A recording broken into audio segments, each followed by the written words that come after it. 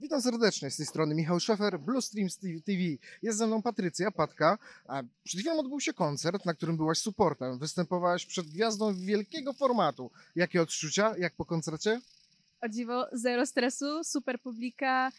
E, odczucia było mega, bardzo fajnie. Super się na tej scenie. Właśnie takie większe sceny są totalnie dla mnie, więc Też uważam, że to był super występ. Powiedz mi, to może trochę nietypowy wy- wywiad. Co powiesz na wyz- wyzwanie 60 sekund? no dobra, przyjmuję. Okej, no to startujemy.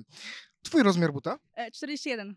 twój typ chłopaka. E, Pinterest Boy Written by Woman. Okej, e, kiedy następny utwór? Niedługo? Czy planujesz przefarbować włosy? Raczej nie. Okej, e, co lubisz najbardziej jeść na śniadanie? Nie jem śniadania. Okej, em, to w takim razie co lubisz najbardziej jeść na obiad? Makarony, jakiekolwiek. Czyli kuchnia włoska, jak rozumiem. Okej, dobra, następne pytanie. E, w takim razie powiedz mi, a jaki jest twój typ kobiety? Najlepszy.